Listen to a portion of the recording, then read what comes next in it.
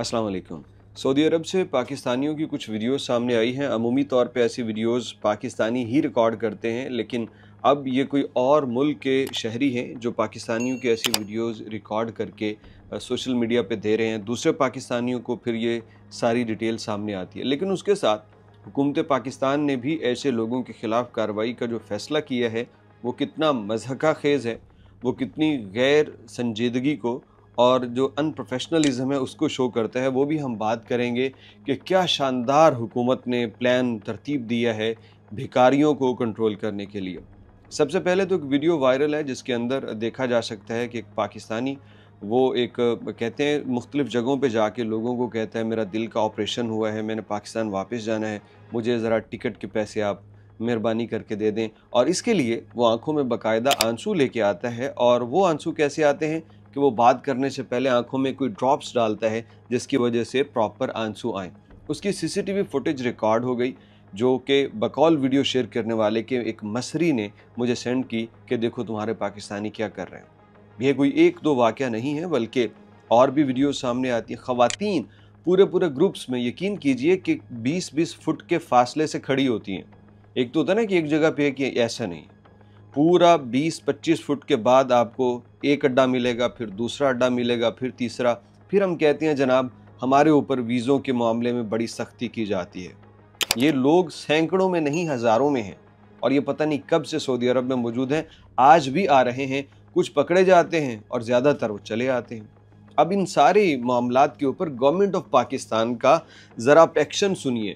یہ خبر میرے سامنے میں دیکھ رہا تھا۔ پاکستان کی وزارت مذہبی امور نے یہ فیصلہ کیا ہے کہ ہم ویزا پالیسی متعارف کرا رہے ہیں تاکہ بیکاریوں کو روکا جا سکے۔ اور اس میں ٹاپ پہ جو انہوں نے اسکیم کے اندر جو قانون لے کے آئے ہیں، وہ پتہ کیا ہے؟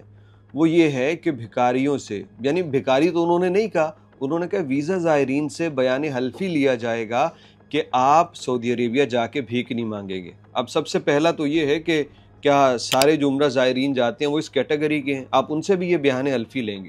تو یہ تو توہین ہو گئی نا تمام عمرہ زائرین کی، آپ ان سے بیان حلفی کیا لے رہے ہیں؟ کہ مطلب مجھے کوئی کہے کہ مجھے لکھ کے دو، تم بھیک نہیں مانگو گے تو مجھے کتنی امبیرسمنٹ فیل ہوگی۔ اور دوسرا یہ ہے کہ جو پیشہ ور بھکاری ہیں، جنہوں نے یہ کام کرنا ہے، کیا وہ آپ کو بیان حلفی لکھ کے سمجھ لیں کہ وہ جا کے بھیک نہیں مانگیں؟ گے ان کے لیے تو اللہ معاف کرے، قرآن پہ ہاتھ رکھوا لو، وہ باز نہیں آئیں گے۔ مسجد میں لے جاؤ ان کو، وہ باز نہیں آئیں گے۔ کیونکہ وہ نہ ان کا کوئی مذہب سے تعلق ہے، نہ خودداری سے، نہ عزت اور غیرت سے ان کا کوئی تعلق ہے۔ اور گورنمنٹ آف پاکستان بھکاریوں کو روکنے کے لیے بڑے بڑے اس کے وہ ٹائٹل آئے، بھکاریوں کی شامت آ گئی۔ سرکار کا سخت قانون لانے کا فیصلہ، بڑا سخت قانون لے کے آئے۔ اس کے بعد کہتے ہیں، یہی بیان حلفی ہم ٹور آپریٹر سے لیں گے۔ جو بہت اعلیٰ۔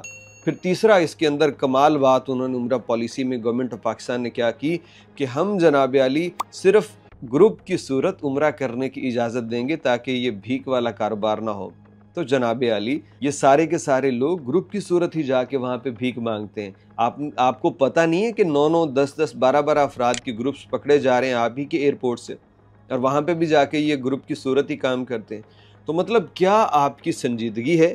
کیا آپ کی مہارت ہے؟ کیا آپ سنجیدہ ہیں اپنے اس دھندے کو ختم کرنے کے لیے؟ یعنی ایک برا دھندہ جو آپ کی پہچان بن چکا ہے، اس کو ختم کرنے کے لیے۔ پتہ نہیں کب یہ لوگ ہوش کے ناخن لیں گے۔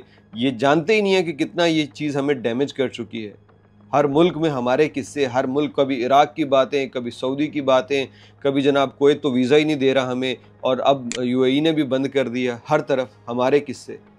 یہ جو ذمہ داری ہے ڈائریکٹ یہ جو وزارت خارجہ والے ہیں، جو اوورسیز پاکستانیوں کو دیکھتے ہیں، بھائی آپ اپنی تیاری پوری نہیں کرتے، ملک جو ہیں وہ آپ کی ریکویسٹیں کر کر کے تھک گئے ہیں کہ بھائی کچھ کر لو۔ آپ نہیں کرتے، وہ پابندی کے سوا ان کے پاس آپشن کوئی نہیں ہے۔ اور اب اگر قانون بنایا بھی ہے تو سبحان اللہ، کیا قانون بنایا ہے جناب؟ یہی اگر حال رہا تو بس پھر کر لیا ہم نے کام اور قابو کر لیا بھکاری گروپوں کو۔ بس اس سارے کے چلتے نہ آپ کو سرکار کو کوئی فرق پڑنا ہے، نہ کسی اور کو۔ بس یہ جو عام پاکستانی ہے، جو واقعی عمرہ ظاہر یا حج کے لیے یا اوورسیز ہے، کام کے لیے جانا چاہتا ہے، اس بیچارے کو بڑی دشواریاں ہوں گی۔ اور آپ کو تو مشکل ہی نہیں ہے، آپ اپنے ڈپلومیٹ پاسپورٹ استعمال کرتے ہوئے پوری دنیا میں مزے لیں گے۔